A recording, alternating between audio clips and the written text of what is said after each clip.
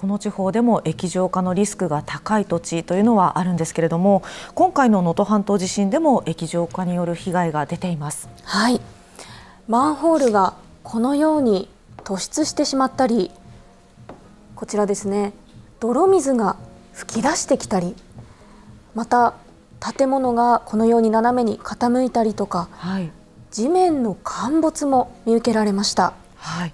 これ今ご自身が住んでいる場所を変えるというのはなかなかできないかと思います。ではそんな中で大石さん私たちに何ができるんでしょうか？そうですね。まずはですねご自身が住んでいる場所どんな場所なのかっていうのを確認していただきたいんですよね。あの各自治体がですねハザードマップを出しています。これ地震の場合、まあ、液状化現象が起きるのかどうかとか洪水が起きるのかどうか。そういったですねハザードマップを見てください。例えばこれ名古屋市ですと子どもにも分かりやすいような振り仮名付きのものもあります。そしてまあ名古屋の場合外国人たくさん来てらっしゃるので英語中国語ベトナム語8カ国語に対応できるようなものもありますので、はい、まずご自身が住んでいる場所のねリスクを確認してほしいなというふうに思いますね。はい、確認すると今度はそのこの行動が変わってくるということになりますよね。はい、そうですね。例えばあの沿岸部であれば、えー、あの地震が来たらですね、津波が来るから逃げろってことになりますけども、うん、でも津波が来る前に建物が潰れちゃったらこれなくなってしまいます。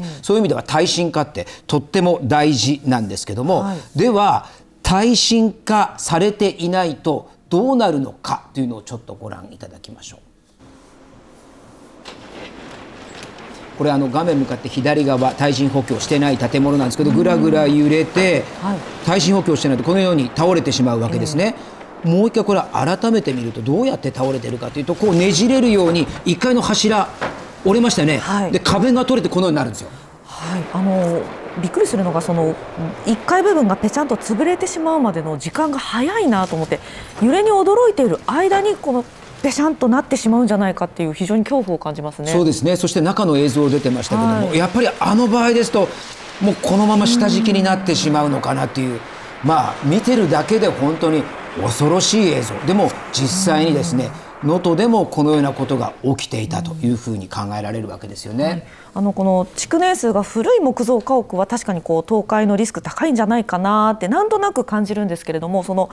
耐震化で問題あるかないかってどういうところで判断したらいいんでしょうか？はいこれはですねやはりあの2つの年号これをですね頭に入れていただきたいんですね。まずこれ耐震診断をするか否かなんですけどもこれは1981年か2000年かこの2つを目安にしてください。1981年以前に建てられた建物というのは旧耐震基準古い耐震基準で作られた建物で震度5強程度の地震でも倒壊しないというもの。この方はですねもう耐震診断が必ず必要です。で1981年以降のものは新しい耐震基準になってくるんですけどもこれは震度6強程度の大きな地震でも倒壊しない建物、うん、で2つ目のこの年号2000年なんですけども、はい、この2000年で法改正があってですね耐震基準より厳しくなったんですね。これどう厳しくなったかというと例えば木材と木材の連結部分接合部を金具で留めるようにしたわけですよ、うん、そうするとよりまあ倒壊しにくくなるということなんですが